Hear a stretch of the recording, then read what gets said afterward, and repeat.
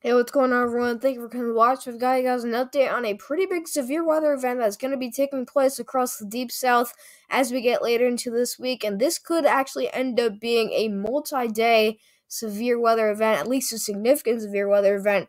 Um, but could it be an outbreak? I've got all the details and all the uh, answers to your questions coming right up, right? So, just starting out this video by apologizing that you can't see myself. Uh, my screen recorder is acting up today, so that's how we're going to be rocking and rolling today. But you can see, take a look at your current radar. Things have gotten much more active than what we were at just a few days ago. Starting out here in the Northeast, this is the main storm right now. You've got a major storm system, a pretty big one, that's moving across the Northeast here. This is bringing some extremely heavy and steady rainfall across New England. I know I have already picked up over an inch of rainfall, so pretty big flooding concerns getting into tonight. We're going to be discussing what's, going on with that. Um, and they're already having a lot of floods, you know, up and around the uh, Brooklyn and just, you know, New York City metro area. Um, and then up here in the Great Plains, look at this. We've got a little small line of storms moving through North Dakota, which is very wild that this is actually moving so far north. But you could argue that these would be some thunderstorms really some gusty winds, but non severe thunderstorms moving through Nebraska, North Dakota possible tonight. And then you've got basically just a line of precipitation moving across the upper Midwest. Down here into Texas, you've got more storms that are firing up here. A lot of uh, cape and instability has been left in this region. You know, throughout today and a lot of yesterday.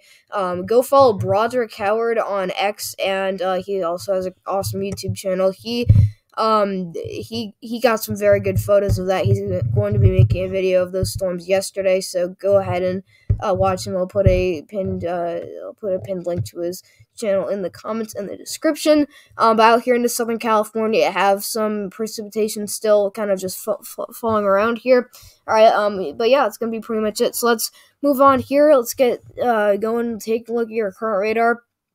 All right, and you can see that you don't have, you still don't have much going on, but up in the northeast you got a flood watch that's going out for really all the way from southern Maine all the way down here through the northeast coast, all the way down to south central New Jersey. This is where in this dark green shade you have the flood watch, and you can see in those lighter green shades so many counties that are scattered around this area are at least under uh, flood advisories, and a lot of flood flash flood warnings and regular flood warnings have been issued. All right, you still have red flag warnings for the panhandle of Texas all the way up to southeastern New Mexico, but you know that's those that's going to be out for those areas that aren't seeing the thunderstorms. The areas that are seeing, seeing the thunderstorms are areas towards the DFW Metroplex area. All right, so um, just be aware that the you know any pop up storm is possible tonight if you're in that area. You got winter weather advisories for western Nebraska, so it looks like my radar was incorrect on that. We we might have seen a change over to rain, but looks like it could be just snow with that line that we were looking at. Still some uh, winter weather advisories out there in California. Let me try and get my uh, camera going here. Ah, it's not working. Anyways, um, but, but yeah, that's gonna be pretty much it. So let's Move on here, we'll take a look at the, the NAM 3 kilometer model. We're looking at the current rainfall that's moving through the northeast. It's very heavy. This was 8 p.m., so just about two two hours ago. You had the heaviest rain over Long Island and New York City. This was when it was pouring out there. It's still raining very heavily, but I mean, it was raining very hard in western Long Island, pretty much exactly where I am. So that was as of 8 p.m. today. This is, by the time I'm filming this video, this is 10 p.m. right now.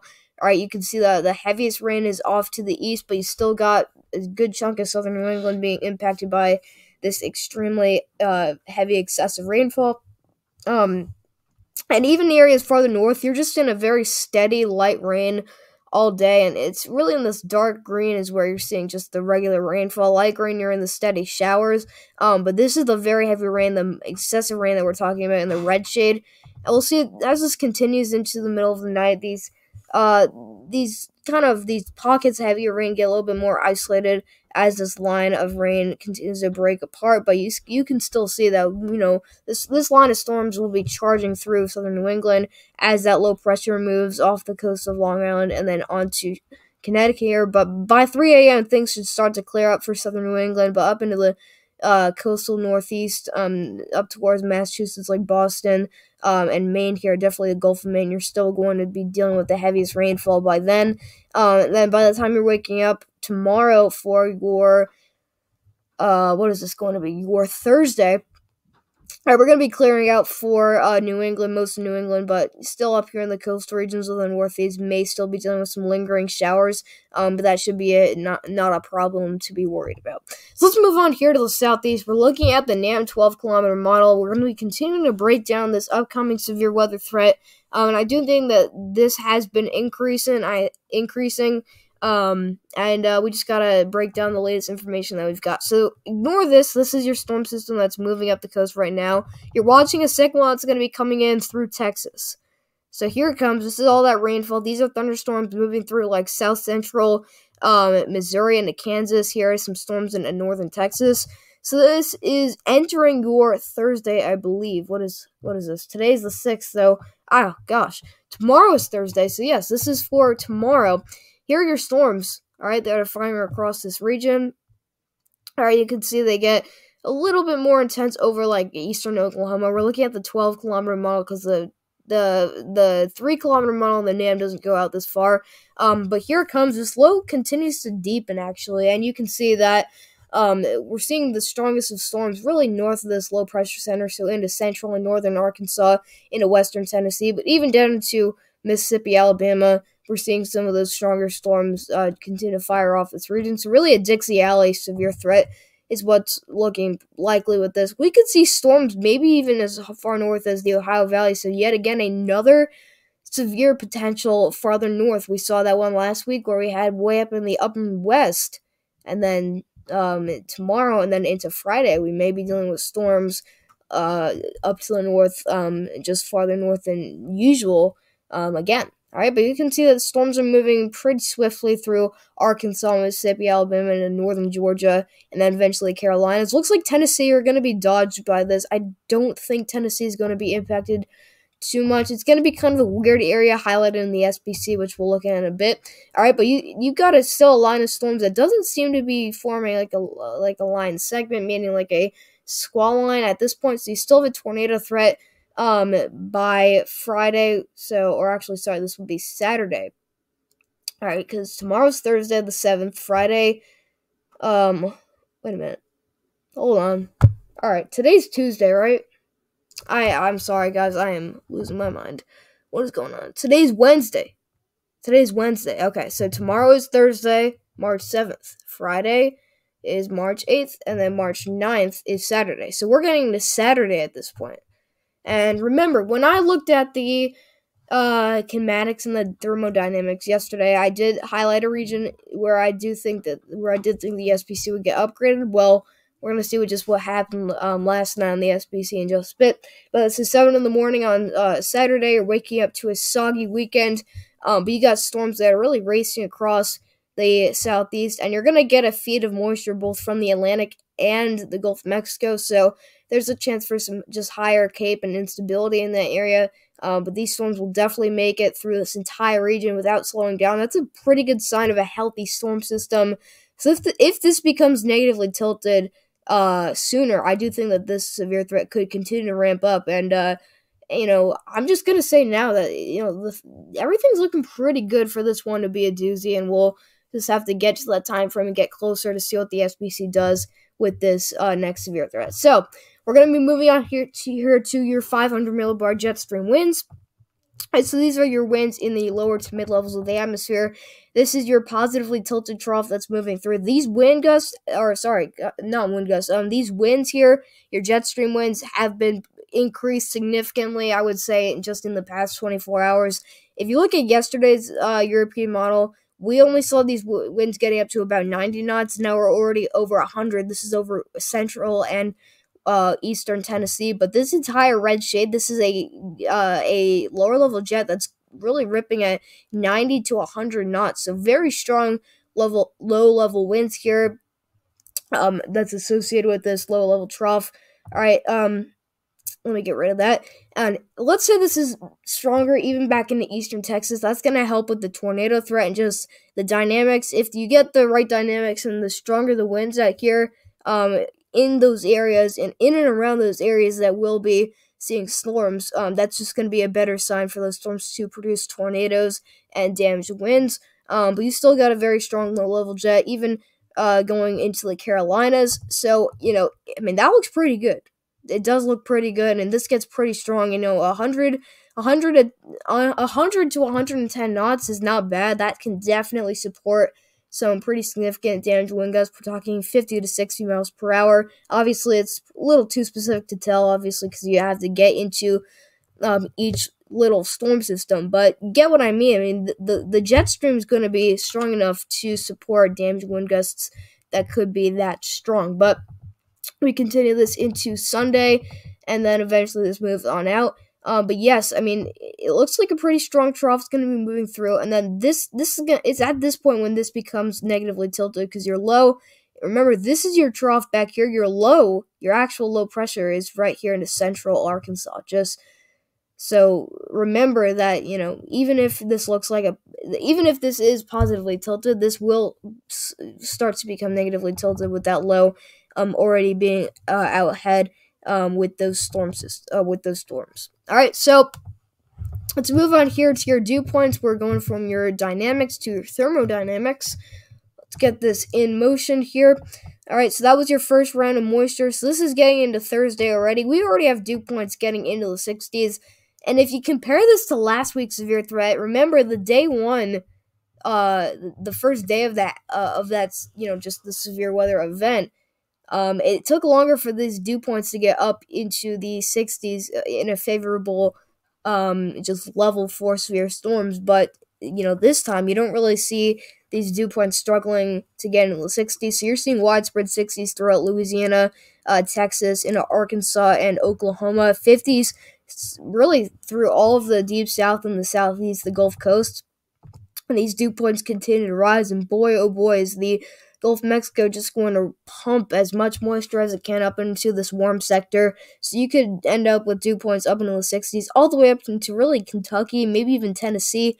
All right, um, but very, very high dew points, almost 70 degrees. My goodness, so very, it's gonna be very humid. Uh, even with those warm, you know, with those warm temperatures combining with the uh very moist um conditions, you're gonna get very humid conditions out there in the southern um, Louisiana, so like the New Orleans area.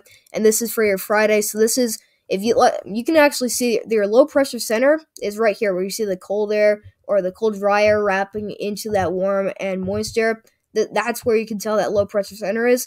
So let's say your storms are right here. I mean, look how favorable this the setup would be. I mean, you can see you you have dew points in the 70s that are just waiting for these storms to move into that area. So if you already have storms firing across this region at this point with not a very strong dry line, or maybe not even a dry line at all, pushing these storms off to the east, I mean, you've got a pretty good, I would say you got a pretty impressive setup here, especially if you got dew points in the 70s. Um, that that's just going to support severe, severe thunderstorms in general. All right, but do these dew points continue to rise, and how far to the east do they get? Well, we're continuing to Saturday, and here you go. This is that area that I was talking about. The European model has increased just the intensity of the thermodynamics and the dynamics uh, since what we looked at yesterday. Yesterday, we only saw these dew points getting into the lower to mid 60s. look at this, we're getting into the upper 60s, into the 70s.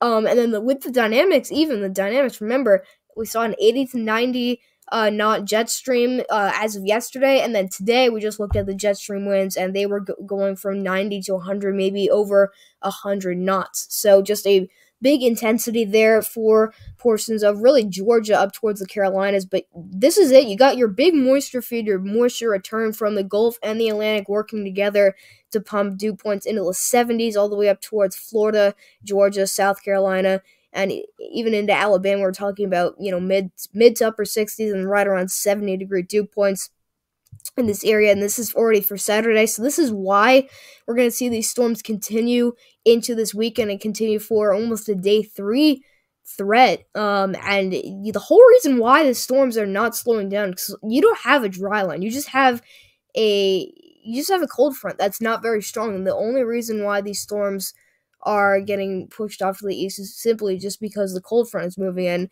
I mean, and you can even see that the dry air isn't nearly as intense as what we saw uh, with last week's. Last week's, the dry line was much more impressive, and it really helped to try and eliminate that threat for severe thunderstorms. So that's pretty interesting what we see here. And then these dew points continue to rise finally until this storm makes its way off the coast um, by Sunday. So here we are, your SPC outlook. This has moved to your day two, or sorry, you are, yes, this is your day two outlook. We already have a slight risk going up from central and northern Texas through central Oklahoma into southern uh, Kansas. This is going out for your Thursday. This, this is Thursday tomorrow. You have level 2 out of 5, slight risk for severe weather. Could this get upgraded to an enhanced risk? I don't think so, but it definitely could. I, I was caught off guard with last week's severe threat in the upper Midwest. You know, that's just how things can change, and that's great example of what may happen uh, tomorrow. We may wake up tomorrow to an enhanced risk, but um, you never want to underhype things, but you definitely never want to overhype things. Um, but I'm just saying that it's possible, um, but I think it, personally that's unlikely. But major cities in here, you got Dallas, Texas, Fort Worth, Texas, Arlington, Texas, Wichita, Kansas, Plano, Texas, coming out with a total population of about 9 million people. So this is that uh, yellow slight risk area. Surrounding areas of that in the dark green, you're in a marginal level 1 out of 5 risk. Um, and then the light green shade, you're just going out for some regular thunderstorms. Tornado threat, you're up to 2% in this little shaded, green shaded area. Wind threat, you're up to 5% in a more broad area, going all the way up to southern Kansas, down through south central Texas. And then your hail threat is slightly elevated, up to a 15% chance for the same area of that slight risk. So here it is, your day three outlook. This is for Friday. This is where I think this is when I think we're going to have the highest threat for severe weather. I do think that this will be upgraded to an enhanced risk. I just, you know, it's already pretty large. You can see it's already large. And the fact that you already have a slight risk on your day three, with just, you know, everything kind of lining up and looking pretty good on the models, I just do think that this is really, I think there's a real chance that this could get upgraded to an enhanced risk. Um, but yeah, I mean, I think as early as tomorrow, this may be an enhanced risk, but you never know. I mean, it, it could not, it could underperform, but I just personally do think that this uh, risk area is going to be upgraded, and it's going to be somewhere in the northern, um, maybe central uh, Louisiana up to northern Louisiana and southern Arkansas. But in this yellow shade, you got level two out of five slight risk for a good chunk of Louisiana, southern Mississippi, Alabama, southern and central Arkansas into southeastern Oklahoma, and into eastern Texas, coming out with a total population of just over 12 mil- million people, including New Orleans, uh, Baton Rouge, Louisiana, Shreveport, Louisiana, Mobile, Mobile, Alabama, and Jackson, Mississippi. Surrounding areas of that, you're in the green marginal risk for severe weather. My goodness, that's a huge population of over 25.5 million people. Um, but yeah, it's just for the surrounding areas of that slight risk of 1 out of 5. Um, probabilistically, you're up to a 15% chance in the slight, and you're in a 5% chance in the marginal risk. So, here it is. I told you guys. I told you that it looked. Oh, there we go. I told you guys yesterday that I just thought that this looked pretty concerning. Um, the dynamics and the thermodynamics for Georgia and just the southeast. Well, here you have it. Overnight, the European model really intensified um, just exactly what we looked at yesterday, and that got the SPC's attention. So here we have it, a day four slight risk. That's going to be like the third one of this week. We have another uh, day. This is like three days in a row of slight risks. Remember, this is equivalent to a slight risk. So you're going to have three days in a row of slight risks, and I do think by tomorrow we may end up with one of the slight risk areas uh, being upgraded to an enhanced risk. But here is your day four outlook. This is for Saturday into Sunday, going out from northern sorry, northern Florida into southern and south central Georgia. You have a 15% slight risk for severe weather, including uh, a total population of just under 5 million people, including Jacksonville, Florida, Tallahassee, Florida, Savannah, Georgia, Macon or Macon, Georgia, and Albany, Georgia. Um, that's it, pretty much everybody inside of this 15% slight risk. Um, this could get extended I def- actually I do think that this will end up being extended, meaning that's probably going to go farther north, and it's probably going to go kind of. I'll show you the. I'll, I'll draw an arrow to where I think it's going to get. I think it's going to go like this. I think it's going to go up to the Carolinas, and I think that also um, towards Alabama, you're going to see more of an extension with this risk area in general. Um, probably as soon as tomorrow. Um, and yeah, it's gonna be pretty much it. All right, so thank you for gonna watch. It's gonna wrap up the video. Um, I hope you guys enjoyed it. I hope you guys can uh, just you know stay safe with the storm system. We'll continue to try and post updates along the way, to, just depending on how you know crazy my schedule is. So we'll try and get an update in for you guys tomorrow. We'll see if that day two outlook or day three gets upgraded to an enhanced risk. It might not, but um, I just I think it will, and uh, it may not happen tomorrow, but it, it, de- it definitely could happen. Uh, what is that on Friday? All right. So yeah, that's gonna be it. And uh, subscribe if you're not subscribed already. Please leave a like on the video if you liked it, and I'll catch you guys in the next video.